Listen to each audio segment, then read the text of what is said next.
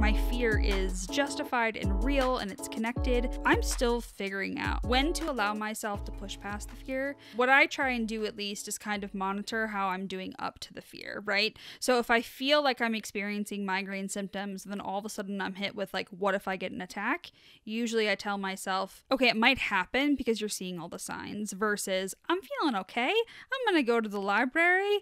I tend to push past my fear because the likelihood that it's just gonna come on without any warning for me at least, that doesn't happen as often. You know, we're at the certain point where you and I have enough years under our belt where we're like, okay, well, I've had all these symptoms. I have a general idea of how wonky I get, like before it gets really bad. The fear is real. I mean, that's also something I talk a lot about in therapy because, like you said, yeah, I live with anxiety on top of all of this, but then it just gets amplified when I'm genuinely afraid of doing anything because I'm afraid of my own migraine condition.